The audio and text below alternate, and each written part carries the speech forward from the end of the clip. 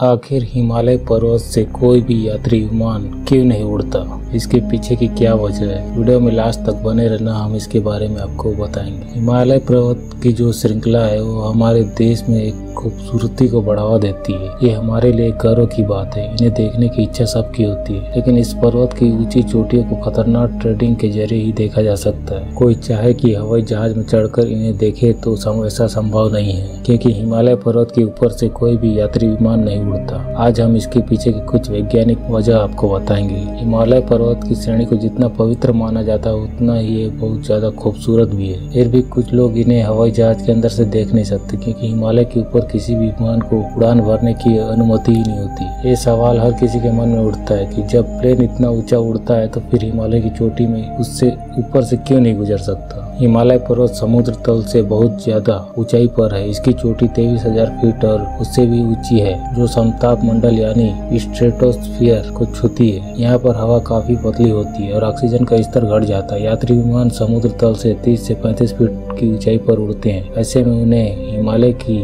उड़ान और ऊंचाई में भरना खतरनाक हो सकता है। विमान में इमरजेंसी के दौरान 20 से 25 मिनट की ऑक्सीजन होती है और विमान को 8 से दस हज़ार फीट से नीचे आने के लिए इतना ही वक्त होता होता है। हिमालय में विमानों का इतने कम वक्त में नीचे आना नहीं हो सकता, जो उड़ान को खतरनाक बना देता है। हिमालय पर्वत की ऊंचाई पर मौसम इतनी तेज़ी से बदलता है कि विमानों को संभालने का मौका नहीं मिल पाता। एयर प्रेशर के लिहाज से भी यात्रियों को नुकसान पहुँचता है और पर्वतीय इलाकों में नेविगेशन की सुविधा भी प्राप्त नहीं होती। अगर कोई आपात स्थिति हो या एयर कंट्रोल से संपर्क कट जाता है तो इतना ही नहीं, इस इलाके में कोई एयरपोर्ट भी नहीं है, जहाँ आपात स्थिति में लैंडिंग हो सके। यही वजह है कि हिमालय पर्वत की ऊँची चोटियों को भी कमर्शियल फ़्लाइट नहीं उड़ान भर सकती। भले ही उसे इसके बदले लंबा सफ़र तय करना क्यों न पड़ सके। फैक्ट पसंद आया हो तो हमारे चैनल को लाइक एंड सब्सक्राइब करके शेयर ज़रूर करें।